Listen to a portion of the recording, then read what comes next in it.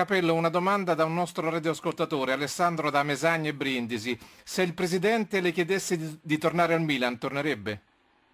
Ma io sono troppo amico del Presidente e quindi credo che in questo momento direi assolutamente di no. No, grazie anche in questo caso.